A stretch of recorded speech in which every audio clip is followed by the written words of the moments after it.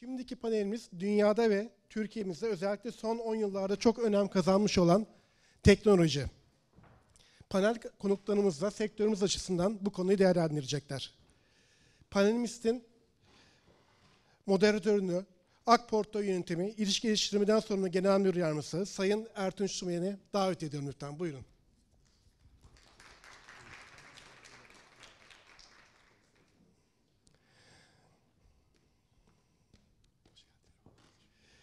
Evet, panelistlerimiz Infina kurucu ortağı ve genel müdürü Sayın Necat Özek,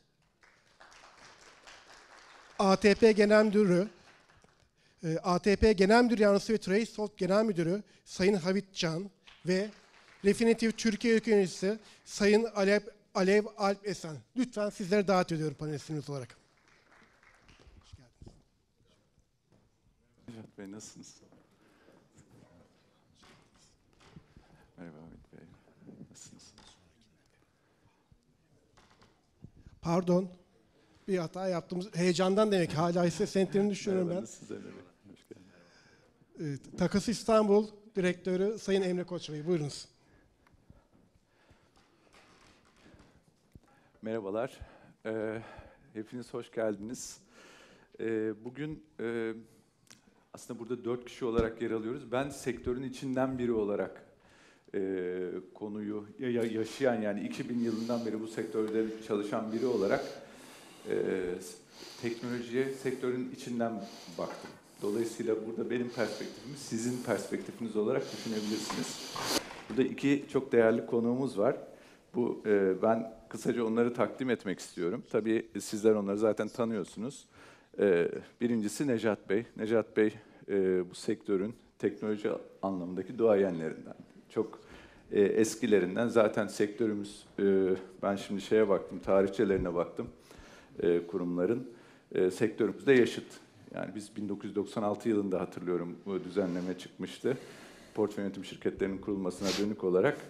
E, siz de Finbase ürün ailesini o dönemde e, kurmuşsunuz, piyasaya sun- e, sunmuşsunuz. Kurucu, Infine yazılımın kurucusu. E, ikinci e, değerli konuğumuz e, Hamit Bey, Hamit Can. O da e, TradeSoft e, Genel Müdür Yardımcısı.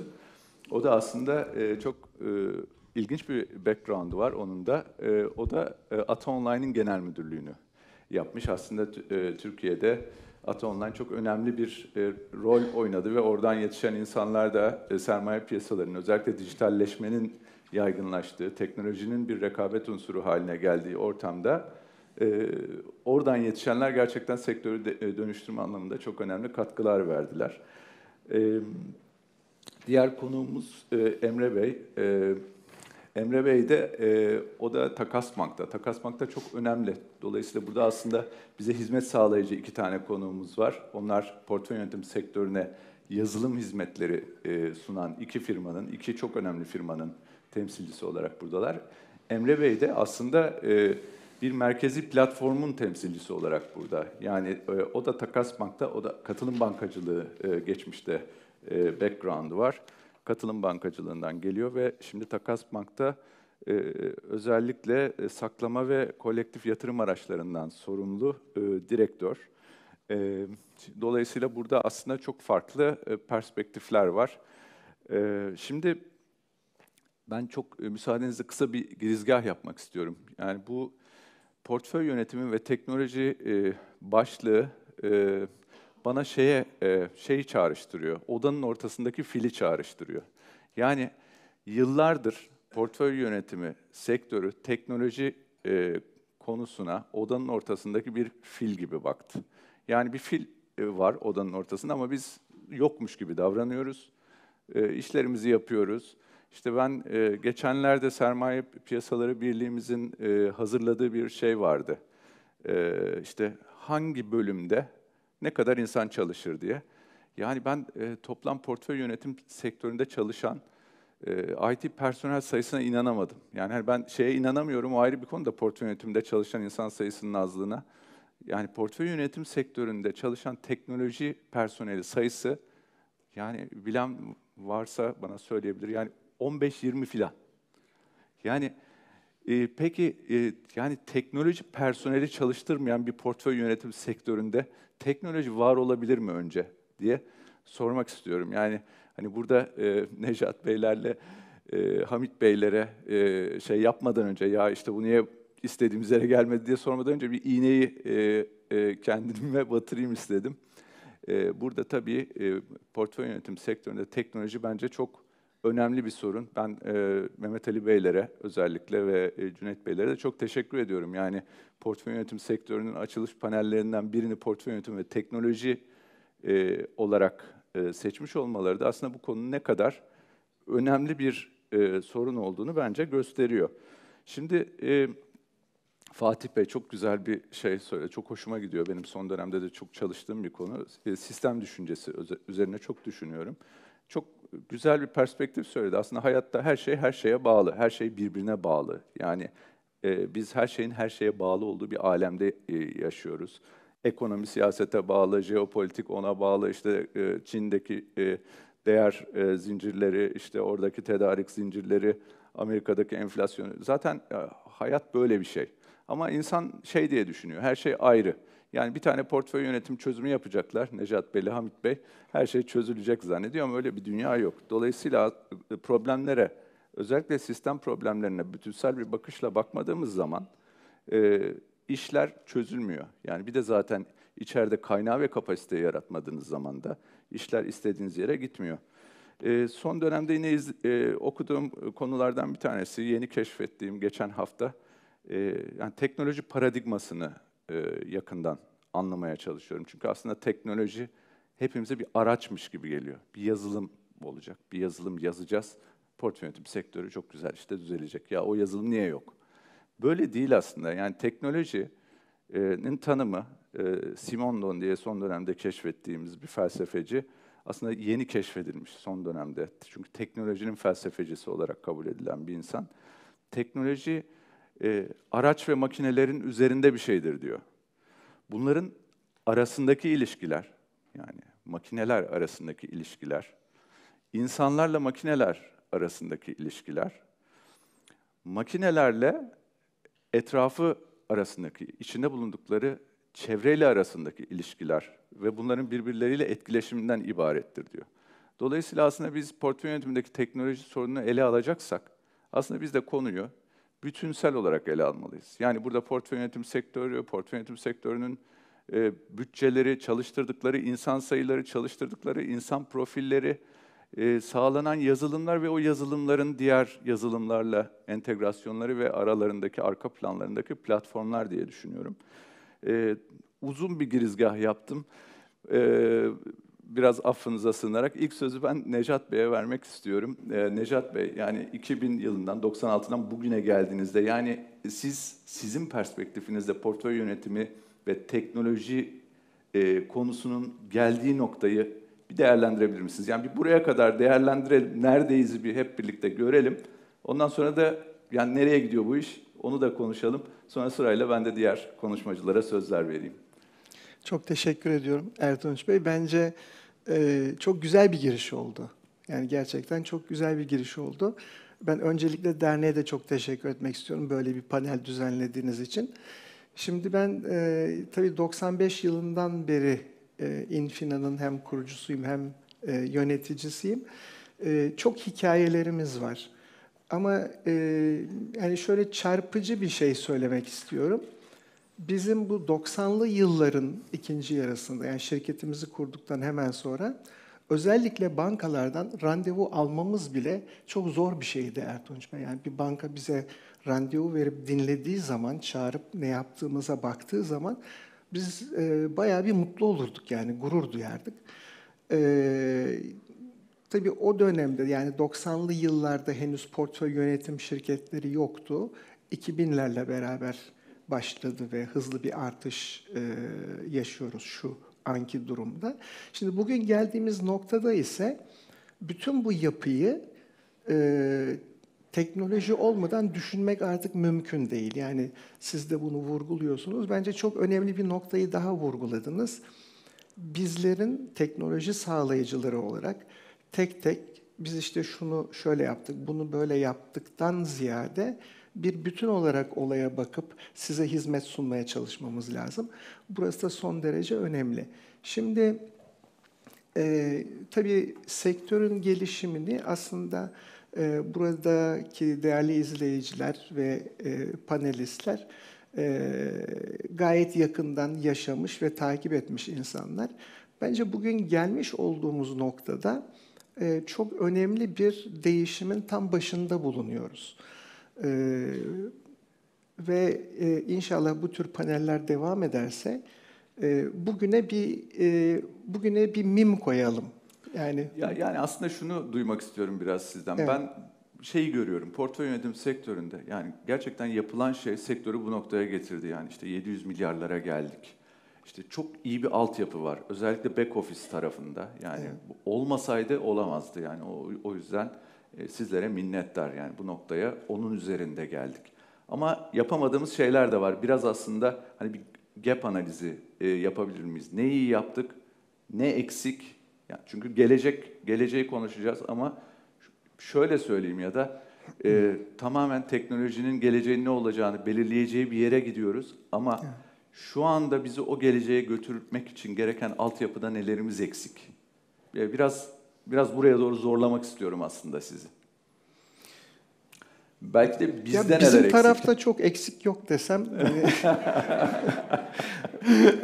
bence e, Bizde neler eksik o zaman onu Evet, söyle. bence onu o tarafa söyle. o tarafa bakmak daha doğru. Çünkü biz bir şeyler yaparız, üretiriz, sunarız ama eğer sektör bunu önemsemezse, benimsemezse ve finanse etmezse, buna yatırım yapmazsa, e o konuda siz sizin tarafta yani kullanıcı tarafında karşılık bulduğu kadar gelişir. Bu çok net. Şimdi ben hani bugüne mim koyalım dedim. Bugünden sonra böyle olmayacak artık. Bunu çok net görüyoruz. Yani e, tam da dijital e, dönüşümün e, başlarındayız. Bence 3 yıl sonra çok farklı bir dünya konuşacağız Ertunç Bey. Onun için bence bundan sonrası daha heyecanlı. Ha bizim tarafta yani ben şirketim adına e, şunu söylemek isterim. Biz bu dönüşümü bir miktar öngördük. Ve son 10 yılda kendimizi buna hazırladık. Hangi anlamda hazırladık? Bu dönüşümle birlikte, yani o dönüşümün parametrelerini tabii e, şöyle belki çok kısa olarak bahsedebilirsen, o ikinci, ikinci bölümde biraz daha fazla gireriz ama e, bugünkü duruma baktığımızda Türkiye'de portföy yönetim şirketlerinin sayısı hızla artıyor. Bence bu çok güzel bir şey. Yani ülke boyutuna baktığımız zaman bu sayının artması çok doğru bir şey. İkinci çok önemli bir gelişme var Türkiye'de. E, bu e-para şirketleri, mikro kredi şirketleri ve kripto şirketleri e, yeni rekabet alanı olarak sermaye piyasalarını seçtiler. Bence bu müthiş fırsatları beraberinde getiriyor sektör için. E, bir konu daha e, burada son derece önemli. Bir de dijital bankalar bunun üzerine geliyor. İşte tabii yapay zeka şunlar falan. Yani benim düşüncem e, Bey önümüzdeki 2-3 yıl içinde muazzam bir dönüşüme tanıklık edeceğiz. E, biz e, şirketimiz adına gereken yatırımları zamanında yapmış olduğumuzu düşünüyoruz. Onun için biz bizim tarafta bu dönüşüme çok hazırız. E, bu sebeple de aslında birçok şirkete e, bu dönüşümünde, dijital dönüşümünde destek olmak için ciddi projeler yapıyoruz. Ve ben şunu da ifade etmek isterim. Çok güzel bir gelişme daha var Türkiye'de. Bu yeni gelen portföy yönetim şirketleri çok değişik vizyonlarla ve iş modelleriyle ortaya çıkıyorlar. Yani bu hakikaten çok etkileyici. E, belli yepyeni alanda yepyeni gruplar tarafından kur- kurulan şirketlerin vizyonunu dinlediğiniz zaman çok etkileniyorsunuz. Şimdi bizim açımızdan görev ve sorumluluk şu. Biz teknoloji sağlayıcı olarak o şirketlere bu vizyonları gerçekleştirmek için gereken altyapıyı sunabiliyor muyuz?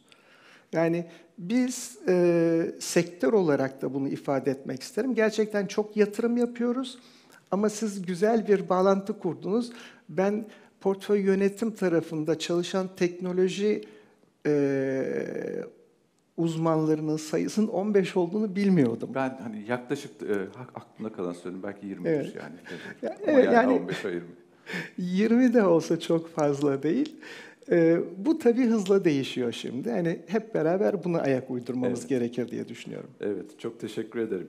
Ee, Hamit Bey'e ben e, müsaadenizle geçmek istiyorum. Ee, Hamit Bey siz e, yine hoşuma gidiyor. E, şeyinize baktım, web sitenize baktığımda diyor, yenilendiğimiz sürece varız yazıyor şeyde, e, slogan.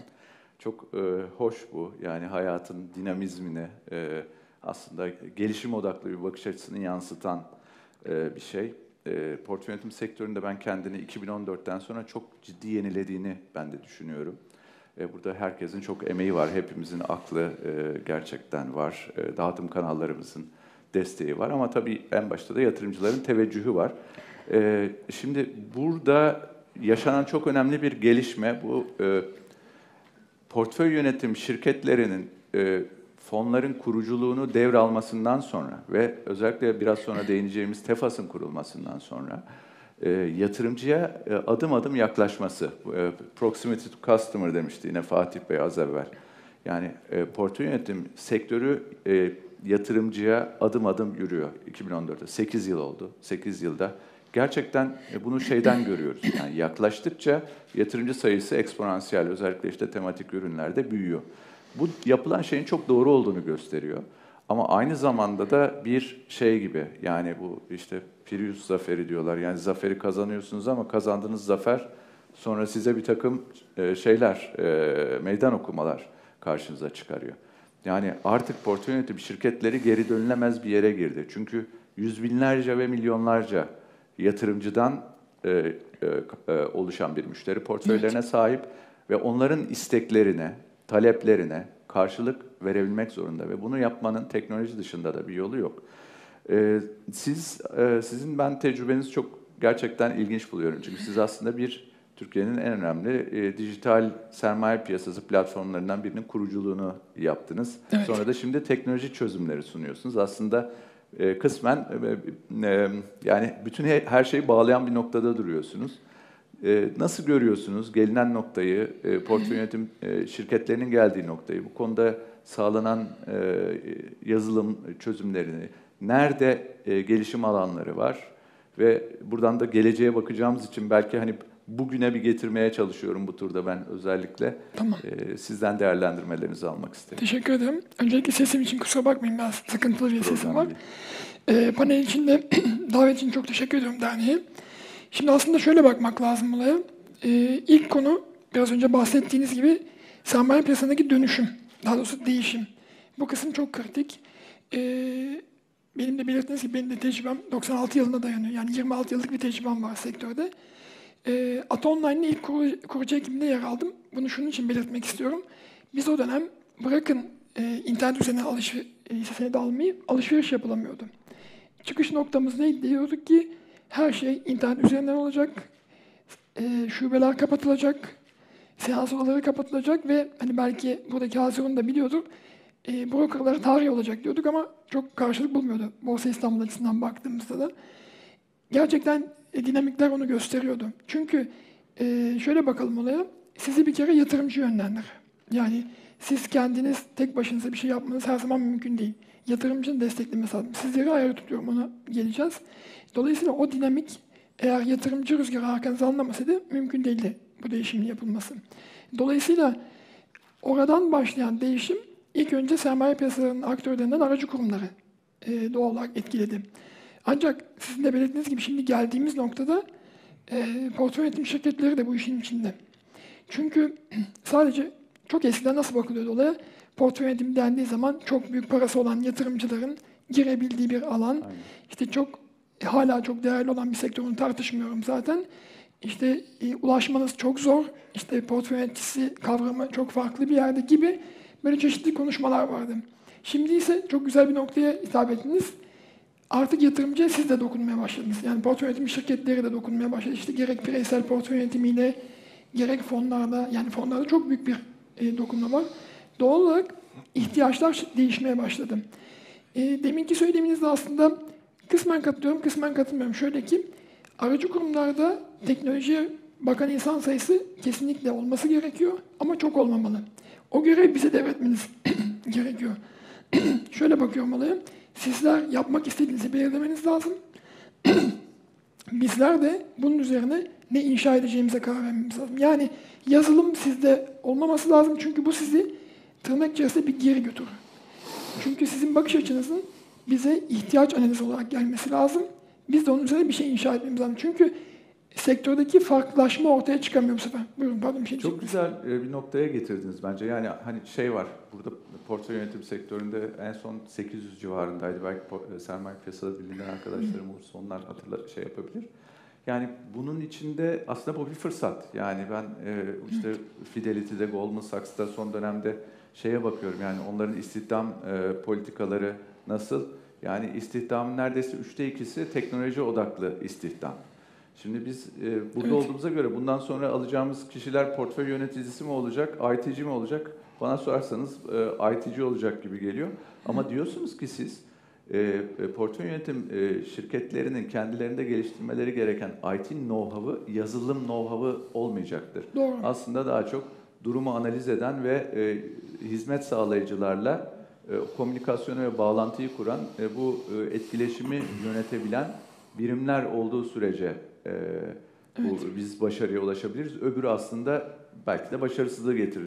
Yani şöyle demek istiyorum. teknoloji ihtiyacınızı ortaya çık- çıkarmanız gerekiyor. Yani siz teknoloji ihtiyacını çıkarmayıp yazılım yapmaya çalıştığınız zaman sizin de hedefiniz şaşacak. Yani şöyle bir, bir durum var. Yani ben hani mevcut durumu bir, biraz daha analiz etmeye çalışıyorum. Portföy yönetim sektöründe teknolojiyi e, e, bilmeyen ama neticede alanını çok iyi bilen, finansı çok iyi bilen bir insan grubu var. Teknolojiyi çok iyi bilen, finansı portföy yönetimi kadar bilmeyen bir e, teknoloji grubu var. Ve arasında bunun bağlantısını kuracak olan Evet. grup Evet. Çok doğru. yok gibi. Yani burada herhalde sanki problem burada. Yani hani nerede problem sizde bizde falan olmanın Evet, evet, ötesinde o bağ yok gibi. Değil mi? Siz Ol- oraya biraz getiriyorsunuz. Evet, olması gereken kısım orası açıkçası. Çünkü bunu bir kere beraber başaracağız. Öncelikle onu söyleyeyim. Hani ne siz ne biz tamamen beraber başarmamız gereken bir nokta ve biraz önce belirttiğiniz gibi 2015'ten beri değişim çok daha farklı bir boyutta. Yani o değişimi biz de gözlemliyoruz. Nejat Bey'in dediği gibi ona zaten hazırız. Bu, bu konudaki yatırımlarımızı çok önce yaptık. Şöyle bakalım olaya benim bir diğer tespitimde. Hani nasıl aracı kurmadan başladı dedim ya. Portföy yönetim şirketlerindeki portföy yöneticileri de tırnak içerisinde söylüyorum lütfen affınıza sığınıyorum. Bir nevi üvey evlat gibi değerlendiriliyor. Çünkü onlar işte bir aracı kurumlara bağlanır, işte birden fazla aracı kurumla işlem yapar, işte gider sistemini kurar, önüne ekran koyar. Böyle çok dağınık bir yapı vardı. Şimdi bizim de görevimiz zaten onları yapmak. Onları düzenlemek. Bunları yapmadığımız zaman siz önünüze bakamayacaksınız. İşte o yüzden hazırız dediğimiz kısım orası. Hem Neşat Beyler hem biz. Bunu hazırız. Bunu yaptığımız noktada bir ileri gideceğiz. Yani özet front office uygulamalarının sizlere dokunan tarafı o kadar güzel bir dashboardlu olmalı ki siz işinize bakmanız lazım bir nevi. Bunlarla uğraşmamanız lazım. Evet. Çok teşekkür ederim. Şimdi e, ben Emre Bey'e geçmek istiyorum. E, Emre Bey e, yani çok önemli bir e, şey yaptı. E, Takas Bank, Tefas platformu devreye girdiğinde e, Türkiye'de oyun değişti. Yani oyun değiştiren bir şey oldu. Aslında bir e, disruptive, e, yani onu biz e, yıkıcı, Türkçe karşılığını bulmakta zorlanıyoruz. Çünkü hani yıkmaktan menfi bir şey aslında. Disruptive derken aslında e, yani eski ve verimsiz olanın yıkılması ama yerine e, daha büyütücü, geliştirici olanın konulmasını ifade eden bir kelime disruption. Şimdi biz yık, yıkıcı da demek de istemiyorum. Bilakis yani böyle hiç yıkıcı bir şey değil, çok yapıcı bir şey oldu. Tefas bizler açısından e, gerçekten e, dağıtım kanalı çeşitlenmesi, farklı e, modellerde hizmet veren e, kurumların ortaya çıkması, e, kurumların rollerinin değişmesi e, ve portföy yönetim şirketlerinin e, yatırımcılarla konuşmaya ve etkileşebilmeye başlaması son derece bence devrimsel bir şeydi. E, bu noktada e, siz böyle bir 8 yılını Tefas gözlüğüyle, çünkü Befas da geldi, Befas'ı biraz gelecek tarafına koyacağım. Biraz Tefas gözlüğüyle değerlendirirseniz çok sevinirim. Tabii, memnun olurum. Ee, Ben de öncelikli olarak derneğimize Mehmet Ali Bey'in nezdinde tüm çalışanlarına bu paneli düzenlediklerinden ötürü hem de bizleri davet ettiklerinden ötürü ayrıca teşekkür ediyorum. E, Aynı zamanda böyle teknoloji şirketlerimizin değerli yöneticileriyle birlikte Takas Bank'ın bir temsilcisi olarak teknoloji konuşmaktan ötürü ayrıca duyduğum memnuniyeti de dile getirmek isterim öncelikle. Tabii Tefas'a geçmeden önce izninizle hani Takas Bank hakkında birkaç bilgi vermek isterim. Ben Takas Bank'ta 4 yıl çalışıyorum. Yaklaşık 15 yıllık daha öncesinde bir bankacılık deneyimim var ama Takas Bank sermaye piyasalarındaki ona deneyimi 30 yılı aşkın bir süredir devam ediyor. Ee, güzel bir anekdot paylaştınız. Portföy yönetim şirketlerindeki teknoloji çalışanları işte çok düşük sayılarda dediniz. Takas Bank'ta bu oran %50'ler seviyesinde. Yani biz sunmuş olduğumuz hizmetler dolayısıyla e, başta Borsa İstanbul olmak üzere e, ülkemizde faaliyet gösteren tüm organize piyasalara işlem sonrası post-trade işlemleri sağlıyoruz. İşte takas, teminat yönetimi, risk yönetimi ve saklama hizmetlerimiz dolayısıyla e, sürekli bir biçimde, sürdürülebilir bir biçimde teknolojik geliştirmeler ve iyileştirmeler yapıyoruz. Dolayısıyla e, bankamızın e, hem insan kaynağı anlamında hem de bu geliştirmeler anlamında teknolojiye yaptığı yatırımlar çok önemli düzeyde. Sadece teknoloji alanında çalışan personeller olarak bakmamak lazım. İş birimlerinde çalışan tüm arkadaşlarımız da hepsi birer iş analisti gibi aynı zamanda çalışıyorlar ki eminim diğer e, banka ve portföy yönetim şirketleri çalışanları da artık buraya doğru evrilmekte. E, az önce konusu geçtiği için söylüyorum. Hani bu aradaki iş birimleriyle teknoloji tarafındaki e, aradaki e, bağlantıyı işte PMO'lar vasıtasıyla belki kurumlar, bankalar sağlıyor. Aynı zamanda iş birimlerindeki arkadaşlarımız ve iş analistleri yoğun ve birlikte çalışmalarla bunları sürdürüyorlar. E, tabii TEFAS 2015 yılında devreye almış olduğumuz bir platform, yatırım fonlarının alınıp satıldığı bir platform. E, TEFAS'ın yanı sıra işte az önce ifade ettiğiniz BEFAS platformu, bunun yanı sıra geçtiğimiz yıl devreye almış olduğumuz kamu teminat yönetimi platformu ve üzerinde çalıştığımız BIGA dijital altın platformu sektöre sunduğumuz son dönemdeki teknolojik yenilikler olarak söylemek mümkün. E, TEFAS'la ilgili izniniz olursa birkaç e, rakamla katkıda bulunmak istiyorum. E, TEFAS 2015 yılında biz devreye aldık. 2015 yılından günümüze kadarki geçen zaman zarfında e, toplam işlem hacmimiz 13 milyar TL'lerden bugün 233 milyar TL'lere kadar ulaşmış durumda. Yani yaklaşık 17-18 kat işlem hacminin arttığını söyleyebiliriz. Tabii bu hem yatırım fonlarındaki gelişmeye paralel olarak e, TEFAS'ın işlem hacmini arttırdı. Karşılıklı olarak TEFAS'a olan duyulan ilgi de yatırım fonlarına olan ilgiyi arttırdı ve buradaki büyümeleri sağlamış oldu. TEFAS'ta ne tür fonlar işlem görüyor? İzniniz olursa onları da hani birkaç kelimeyle ifade edeyim. E, tabii sektörün buradaki profesyoneller bunları biliyorlar ama hani bizi online olarak izleyen katılımcılar açısından bunları paylaşmakta yarar görüyorum. Hisse senedi fonları, borçlanma araçları fonları, değişken fonlar, kıymetli maden fonları, katılım fonları, fon sepeti fonları ve karma fonlar e, TEFAS'ta işlem görmesi zor olan, zorunlu olan fonlar. Bunun yanı sıra likit fonlar dediğimiz para piyasası fonları ve kısa vadeli borçlanma araçları fonları da e, kurucuların yani portföy yönetim şirketlerimizin isteğine bağlı olarak fonda işlem görebilmekteler. E, şimdi TEFAS neler getirdi sektöre? TEFAS her şeyden önce e, oluşan dinamizm sayesinde ve doğacak fırsatları hem portföy yönetim şirketleri açısından hem de katılımcılar açısından değerlendirerek hızlı bir şekilde sektörün büyümesine katkıda bulundu. Burada fon yönetim ücretleri yüzdesel anlamda oransal olarak e, artmadığı gibi düşüş göstermeye başladı. Burada daha küçük ölçekteki portföy yönetim şirketleri açısından e, daha geniş kitlelere erişme imkanı sağlanmış oldu TEFAS vasıtasıyla. E, büyük banka iştiraki açısından baktığımız zaman da portföy yönetim şirketleri olarak da hızlı büyümelerine ve yönetim altındaki varlıklarını geliştirmelerine imkan sağlamış oldu. Biz de 2022 yıl itibariyle 8. yılını doldurmuş bulunuyoruz TEFAS tarafında. E, işlem hacimleri giderek büyüyor, katılımcı sayısı giderek büyüyor. E, dolayısıyla hem portföy yönetim e, sektörüne katkıları devam ediyor e, hem de katılımcılara yani e, bireysel ve kurumsal nitelikteki katılımcılara e, varlıklarını büyütme açısından da bir imkan sağlamış oluyor. E, TEFAS'a şöyle de bir katkısı var. Aslında yatırım fonlarının alınıp satılabildiği bir platform olduğu için ülke ekonomisi açısından da hem kalkınma hamlelerinin hem sürdürülebilir büyümenin oluşması açısından e, yatırım fonlarının büyümesine ciddi katkıda bulunuyor. Fon dünyası olarak Mehmet Ali Beyler konuşmasında ifade ettiler. 600 milyar TL'nin üzerine çıkmış durumda şu an portföy yönetim şirketlerimiz yönetim altındaki varlıklar. Doğrudan 200 milyar TL'lik bir kısmı aslında e, ticaretin finansmanında kullanılıyor dediler. Aslında e, buradan elde edilen e, gelirin, varlığın, yönetilen büyüklüğün tamamı en nihayetinde finans sektörü üzerinden veya doğrudan reel sektöre giderek ülkemizin ekonomisine katkı sağlamaya devam ediyor. E, tabii Befas platformu e, geçtiğimiz yıl devreye almış olduğumuz bir, platform. E, Befas platformu vasıtasıyla da emeklilik fonlarının alınım satımına aracılık etmeye başladık. Burada da e, Tefas platformunun hem kuruluş hem yönetim hem işletiminden elde ettiğimiz deneyimle Befas platformu çok daha hızlı bir şekilde devreye almış Befas olduk. birkaç yılda aldığı yolu aslında Befas e, birkaç ayda Evet, aldı. çok gibi daha hızlı alacak. Ona e, inanıyoruz biz de. E, şu an için Tefas platformunda 388 adet fon işlem görüyor. Toplam fon dünyasına baktığımız zaman yaklaşık %45'inin Tefas'ta olduğunu, cover ettiğini Tefas'ın söyleyebiliriz. Befas tarafında ise e, hemen rakamları paylaşayım sizlerle. E, çok daha hızlı bir şekilde yol aldık ve alıyor olacağız. Befas tarafında sektörün %70'i şu an cover edilmiş durumda. Burada e, grup fonları e, dışarıda tutulduğu için şu an için Befas'a dahil değiller. Belki zaman içerisinde bunlar da sisteme ve sektöre dahil olacaklar e, diye bekliyoruz bizler de. Peki, e, çok teşekkür ederim.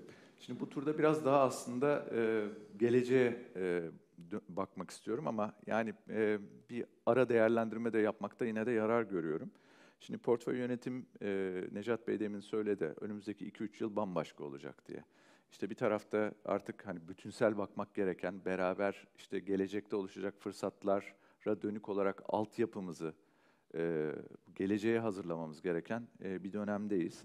Bununla ilgili çözümü de ancak birlikte e, geliştirebiliriz dedik. Ben e, burada birazcık portföy yönetimi tarafından söyleyeyim. Necat Bey söylemedi. E, Hamit Bey de neticede e, yani ticari olarak da tabii ben de anlayabiliyorum ama bizim gördüğümüz eksikler neler? Şimdi e, bizim gördüğümüz eksikler derken de aslında hani sistemin gelişim alanları neler anlamında söylüyorum bunu.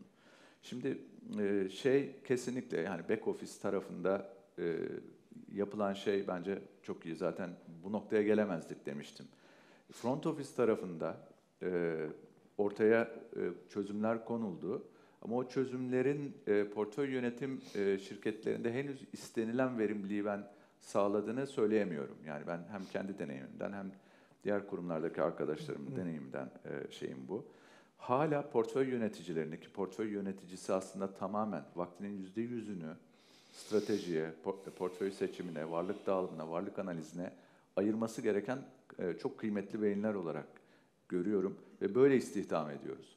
Ama e, bugün e, dönüp baktığımızda hala biz bu arkadaşlarımızın ki bunlar gerçekten başka yerde ben hep şey diyorum Nobel ödülüne gidebilecek arkadaşları biz portföy yöneticisi olarak çalıştırıyoruz diyorum.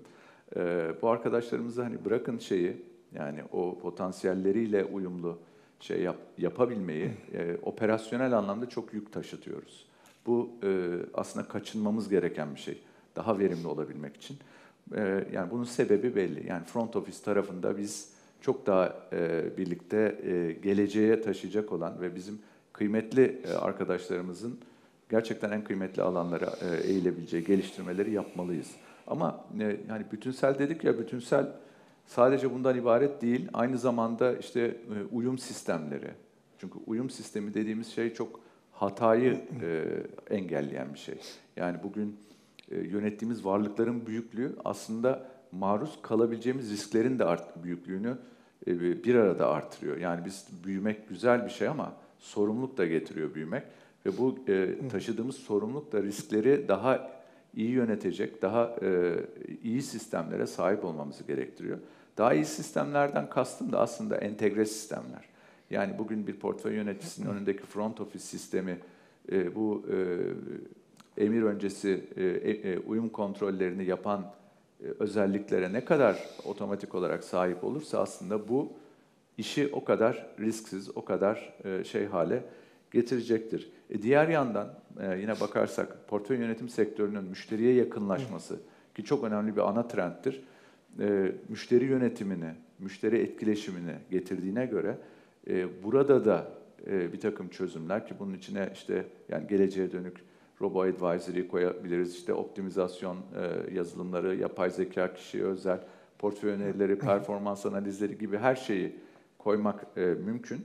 Dolayısıyla aslında bir bütünsel yani dikeyler ve o dikeylerde Tabii bunun bir noktasına veriyi koymak lazım. Yani büyük veri altyapıları.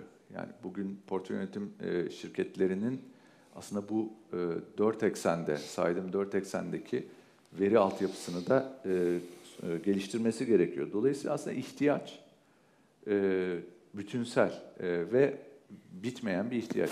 Bunun üzerine elbette yeni iş modelleri geliştirebilme esnekliğine sahip.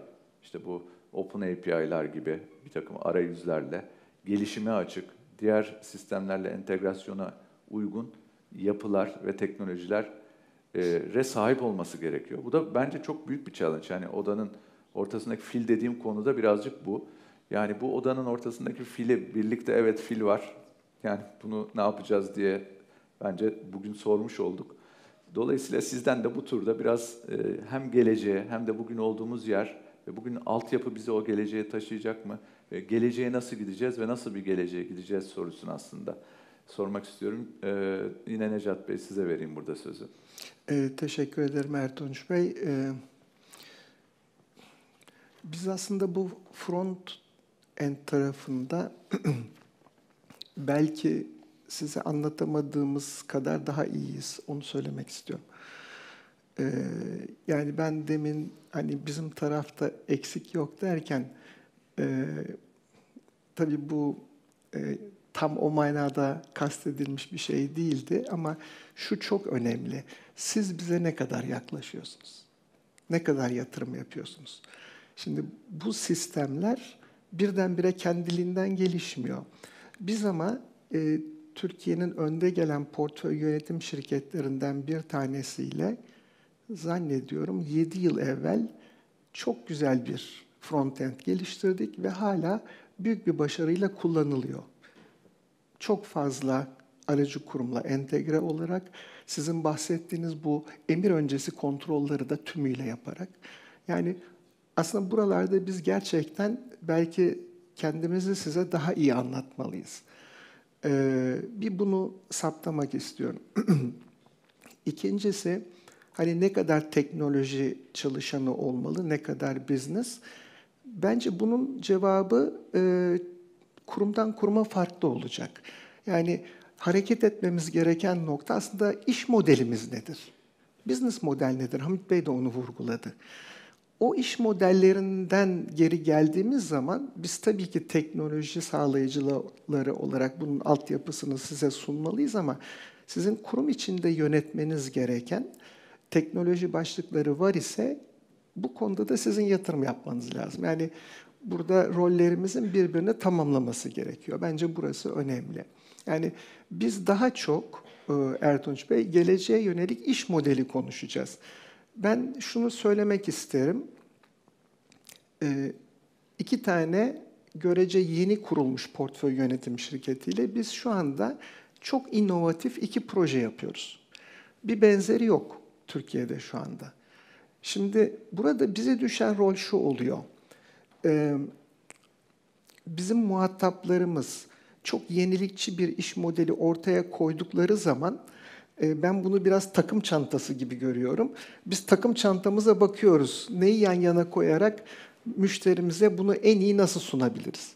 Bizim ta- takım çantamız ne kadar hazır? Şimdi bizim ana görevimiz aslında o takım çantasını olabildiğince çok iş modeline cevap verecek şekilde esnek yapabilmek. Ee, ben bu yenilikçi iş modellerinin gelecekte çok daha artacağını düşünüyorum. Ee, ve portföy yönetim şirketlerinin de burada e, bahsediliyor. Çok daha fazla geniş kitlelere ulaşacağını düşünüyorum. Dolayısıyla burada bütüncül ve sistemsel bakış açısı elbette son derece önemli. E, bunu bu şekilde kurgulayarak bizim portföy yönetim şirketlerinin iş hacmini büyütmesine, çok yenilikçi, inovatif yaklaşımlarının hayat bulmasına e, ve e, gelecekte kurumlar çok daha fazla birbirleriyle entegre olacaklar. Bütün bu entegrasyonların sağlanmasına destek olmamız gerekiyor. Ben kendi rolümüzü burada görüyorum. Şimdi bu e, e, ilk turda bahsettiğim e, e-para şirketleri, mikro kredi şirketleri, kripto şirketleri, yeni olarak dijital bankalar bu alana girdiği zaman bu çeşitlilik çok daha artacak. Hani ben önümüzdeki 2-3 sene içerisinde çok değişecek derken aslında biz büyük bir bütünleşmeyi yaşıyoruz şu anda. Yani dijitalizasyonun yanında e, yeni e-şirketlerin sermaye piyasalarına gelmesiyle büyük bir bütünleşme yaşıyoruz. Şimdi bu olumlu manada söylüyorum. Bu kaostan yeni ve çok yönlü, çok renkli yeni iş modelleri çıkacak. Ee, inşallah kısmet olur. 2-3 yıl sonra konuştuğumuzda bunların örneklerini biz zaten e, sektörde çalışıyor olduğunu göreceğiz. Dolayısıyla bizim bu kaostan her kurum hangi alanda e, farklılaşmak, hizmetlerini çeşitlendirmek istiyorsa buraya gitmemiz gerekiyor. Ben portföy yönetim şirketlerinin bu yeni nesil e, bir araya geldiği zaman buradan çok değişik ve hakikaten hacim yaratacak işbirliklerinin çıkacağına e, inanıyorum. Neden? Bu kurumlar milyonlarca e, müşteriyle geliyorlar bu alana ve çok iyi müşteri deneyimi sunuyorlar. Fakat bizim alanımızı hiç bilmiyorlar. Yani biz onlara aslında bu yeni e-şirketlerden bir tanesini aldığımız zaman biz onlara bayağı bir danışmanlık veriyoruz. Geçen gün bir tanesi sordu MKK nedir diye. Yani proje yöneticisi. Yani bu seviyede. Ama bu normal. Sonuçta başka bir dünyaları var. Bizim dünyayı keşfe geliyorlar. Şimdi biz onlara ne sunacağız burada? Yani bu büyük bütünleşmeden bambaşka çok yenilikçi iş modelleri çıkacak. Biz bunları çok e, öncülerini görüyoruz şu anda. Daha da çıkacağını bunun ben çok net olarak görüyorum. Dolayısıyla hani bugünü milat olarak alırsak 3 sene sonra bence çok daha renkli, çok değişik iş modellerinin hayata geçtiği bir portföy yönetim anlayışı göreceğiz. Her şey her şeyle entegre olacak. İşte ne bileyim Migros'tan alışveriş yaparken Tesla hissesi de alacaksınız ya da onun bir token'ını alacaksınız gibi. Ee, buna bence e, hep beraber mesai harcamamız, projelerimizi güzel temiz zamanında bitirmemiz ve size sunmamız gerekiyor. Sizin tarafta da e, bu oturumu fırsat bilerek bütçelerin artması gerektiğini e, ben değinmek isterim. Bütün ee, portföy yönetim sektörü müdürleri, genel müdürleri burada diye ben düşünüyorum. Yönetim kurullarının tabii burada şeyi de var, onların da yetki sınırları var.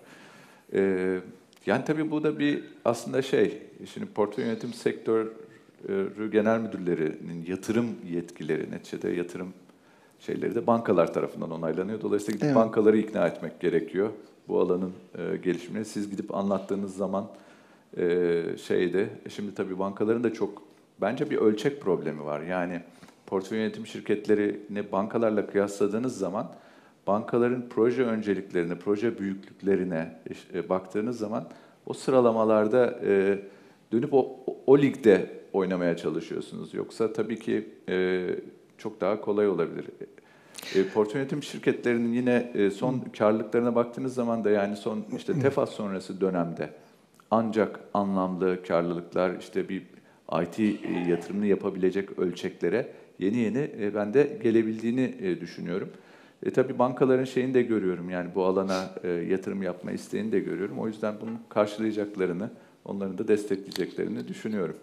E, ben bir şey daha eklemek Buyurun. isterim Ertunç Bey. Bu algı değişiyor.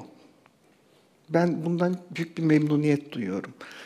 E, biz bankaların bu dijitalleşmeden sorumlu e, yöneticileriyle görüştüğümüz zaman bunu anlatıyoruz ve karşılık buluyor. Bugün için hala ya biz de bunu yapalım da bir an evvel öne geçelim falan gibi. Ama burada geç kalırsanız bir süre sonra mecburiyetten yapacaksınız. Yani bu e, ben bunu arkadaşlara da çok açık söylüyorum, söylemek durumundayım. Söylemezsem görevimi tam yapmamış olurum. Yani bu dedik ya önümüzdeki 2-3 yılda büyük bir dönüşüm olacak diye. Eğer bugünlerden ciddi adımlar atarak sizin söylediğiniz ya kaç para harcıyoruz, ne getirecek falan bu kriterleri aşarak bence burası çok önemli.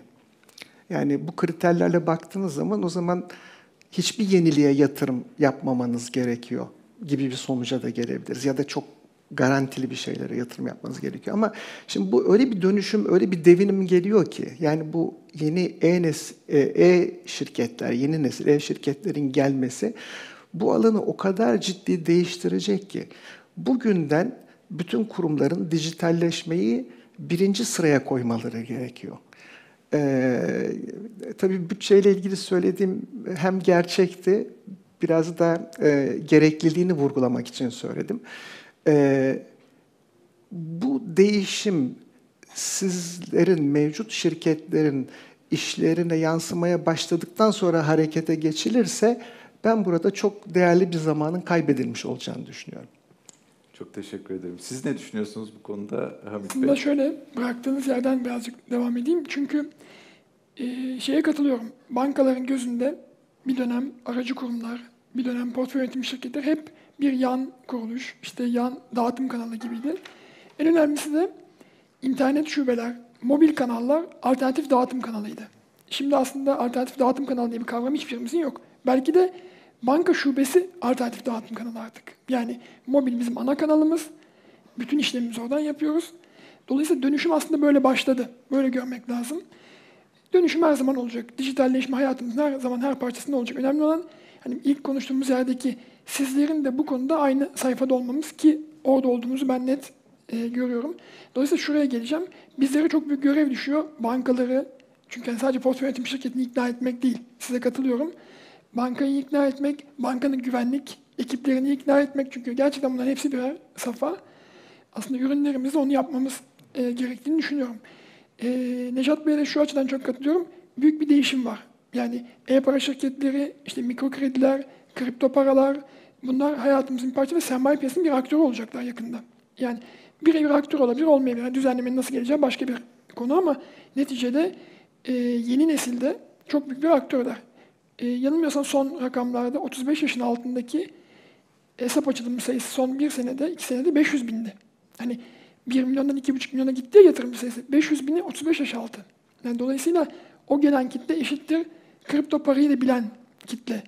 Dolayısıyla bizden istediği ürünler de ne oluyor? Otomatikman o yalınlıkta, o sadelikte ve o kolaylıkta oluyor. Dolayısıyla biz e, portföy şirketlerinin dışında söylüyorum bunu. Aracı kurumlar bunu sağlamakta mükellefiz. E, dönüyoruz portföy yönetim şirketlerine.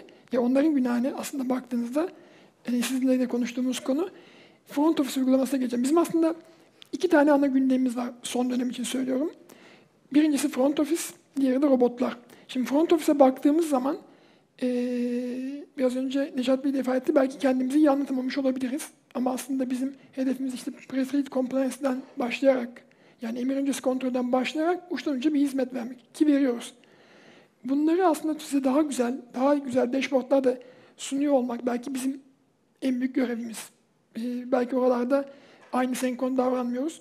Bize düşen görev. Şimdi çuvaldızı kendimize de batırmak lazım. Bir yerde e, bir problem varsa bulmamız gerekiyor hep beraber. Ama bunu beraber çözeceğiz en nihayetinde. E, dolayısıyla buradaki hedef sizin hiçbir şeye ihtiyacınız olmaması. Çok değerli bir şey söylediniz. Portföy yöneticileri aslında Nobel'e aday gibi insanlar. Hakikaten onların gerçekten gerçek zamanını alokasyona ayırması lazım. Yani işte X kuruma emir gönderdim, diğer kurumdan buna baktım.